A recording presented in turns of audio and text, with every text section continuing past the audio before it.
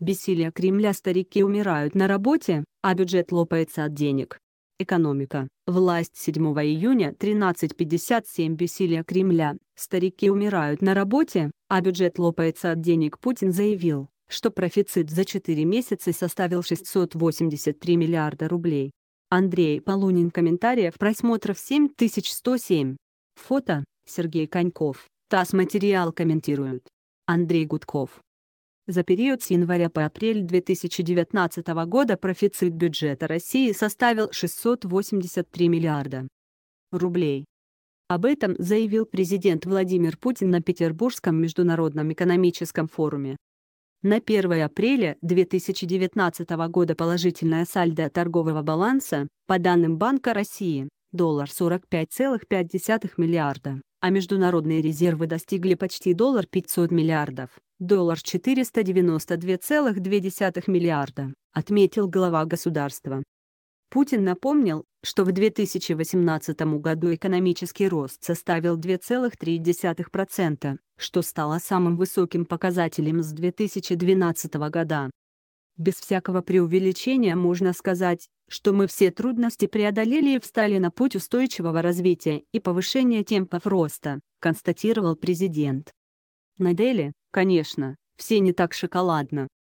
По предварительным данным Росстата, рост ВВП РФ в первом квартале 2019 года оказался на уровне 0,5% год к году. Это значит, экономика России весьма ощутимо замедляется.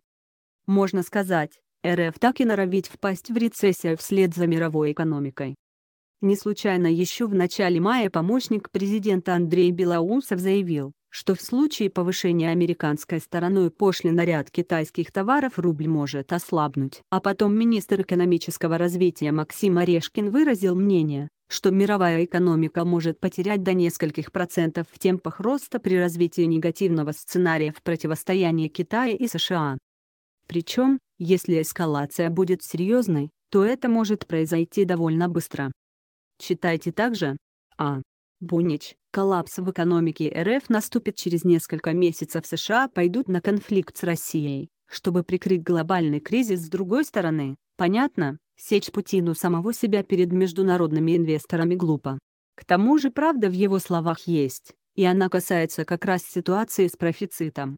Ситуация эта удивительная. Нынешний показатель лучше прошлогоднего. По итогам четырех месяцев 2018 года профицит сложился на уровне 181 миллиард рублей, или 0,6% ВВП. При этом профицит, можно сказать, плановый. Законом о бюджете на 2019 год его размер профицита утвержден на уровне 1,7% ВВП, с учетом майских корректировок. Понятно, откуда взялась эта прибавка от нефтегазовых доходов. По итогам января-апреля 2019 года цена барреля Euros составила доллар 65,18 при заложенных в бюджет доллар 63,4. И вот что принципиально, показатель доходов, полученных по итогам четырех месяцев, последние три года уверенно растет.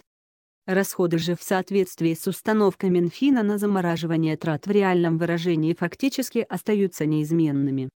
И здесь возникает закономерный вопрос. Если мы живем в условиях растущего профицита, зачем тогда было повышать налоги, увеличивать пенсионный возраст? Во всем мире общество тратит на сбережение человеческого капитала огромные ресурсы. В странах Запада на эти цели тратится более 20% ВВП. У нас 10% ВВП то есть вдвое меньше. Почему же российские власти, видимо, решили для себя, что вкладывать в развитие страны и человеческий капитал нет смысла? Все вместе это наводит на мысль, что в Кремле всерьез опасаются резкой просадки в мировой экономике. Идеального шторма из-за торговых разборок между США и Китаем, в результате чего нефть полетит вниз, а вместе с ней нынешнее относительное бюджетное благополучие. Только этим, пожалуй, можно объяснить, почему Кремль лихорадочно копит резервы. Власть хочет и в кризис продержаться подольше причем любой ценой. Главная проблема российской экономики – это отсутствие инвестиций, отмечает доктор экономических наук, независимый эксперт по социальной политике Андрей Гудков. Из-за этого имеет место недостаточная фондовая вооруженность труда. Отсюда низкая производительность, которая не позволяет платить высокие зарплаты. А именно с зарплат отчисляются страховые взносы. К тому же в России капитал бежит из одних отраслей, а профицит образуется по совершенно другим отраслям. По идее, нам необходим межотраслевой перелив капитала. Такой переток элементарно организовывается в условиях социализма, например, в Китае, но он абсолютно невозможен в условиях капитализма. Поскольку требует мощнейшего рыночного регулирования, ущемления интересов буржуазии. Плюс наличие политической воли, чтобы заставить буржуазию шагать в ногу с остальным обществом. Этим обстоятельством, кстати, объясняется огосударствление нефтяной и газовой промышленности основного генератора прибавочной стоимости рентного характера в стране. А на вопрос, почему эта рента не переводится в инвестиции, ответил еще Алексей Кудрин в бытность министром финансов все равно разворуют. СП. Можно было бы направить профицит на выплату пенсий. Члены Кабмина и Рады бы, да боятся. Штука в том, что рентная сверхприбыль барышня нежная, ранимая и взбалмошенная. Она то есть, то куда-то умчалась. А социальные обязательства государства неизменны. И финансируются они по социальному страхованию из взносов. Если правительство привяжет систему социального обеспечения к нефти, проблемы возникнут неизбежно при первом же падении цен на нефть.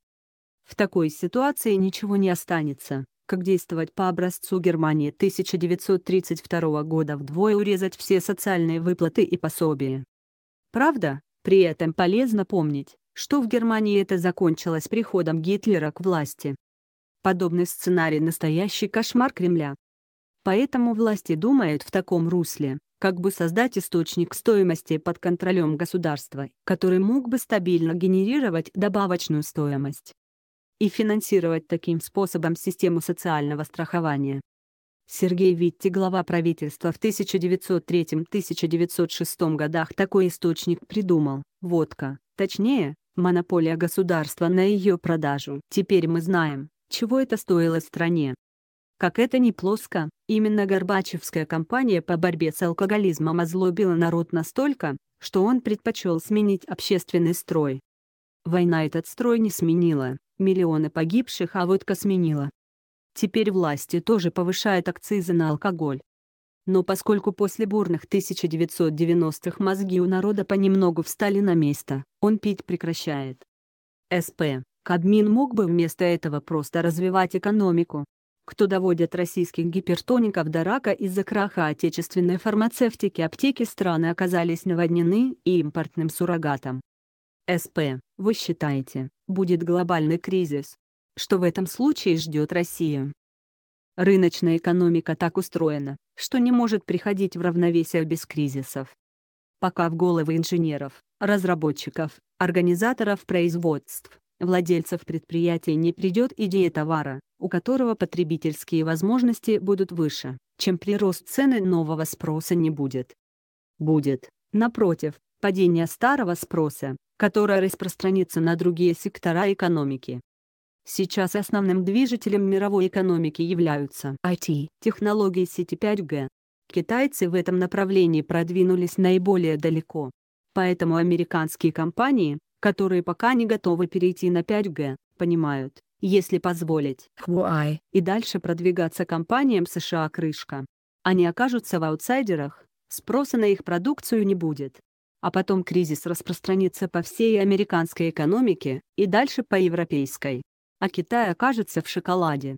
Поэтому торговая война США-Китай будет и дальше раскручиваться, и кризис тоже. Но Россию он не заденет сильно, я считаю. Поскольку мы всего-навсего поставщики нефти и газа. И этот кризис нас бы вообще, на мой взгляд, не затронул, если бы не американский сланцевый газ. Новости Донбасса. Постпред России при ОБСЕ рассказал, как добиться мира в Донбассе.